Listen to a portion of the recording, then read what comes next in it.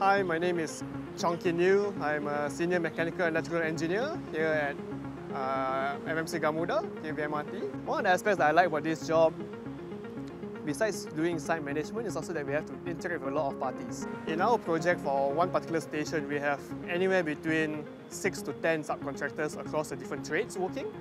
So my job on a day-to-day -day basis is to get these 10 subcontractors in, coordinate their works, making sure that each of them are able to run their installations without any interference with others. We also deal with the public who runs just beside our site, are also a lot of our main concern. And we do, and we do engagement with them as well.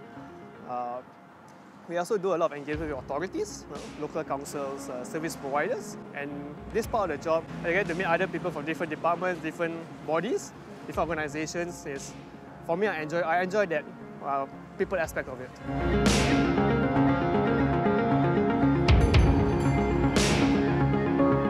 For Kepong Baru specifically, the challenge was that there is a big monsoon drain just below the station as well. So that was a big factor that we had to take into consideration when we had to do the construction and installation of these underground services. Now I'm a bit more experienced with it, I'm familiar with the works. So it's about how to preempt the issues that's coming up. And when the issues do come up, I'm no longer being taken by surprise. I know about it and I know how to address these issues. I think working on such a big, massive mega project in the heart of Kuala Lumpur, where I, where I was born and bred, really holds special value to me because I'm able to help contribute to the development of my city that I grew up in. And hopefully it does leave a good, lasting impact to the local community.